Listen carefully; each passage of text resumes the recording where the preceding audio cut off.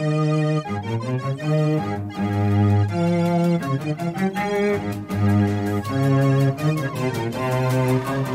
side do you want?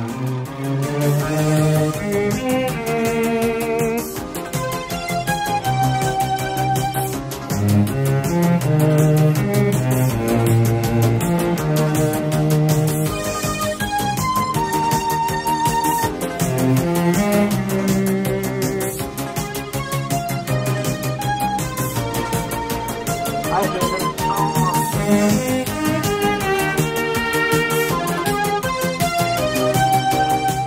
interactive CD-ROM! Must be! You just touch the right part of the screen